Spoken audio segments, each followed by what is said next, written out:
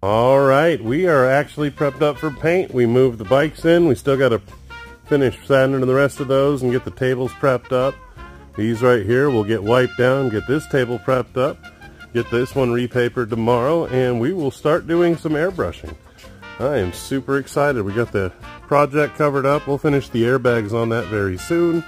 But for now, we are going to airbrush. Yeah.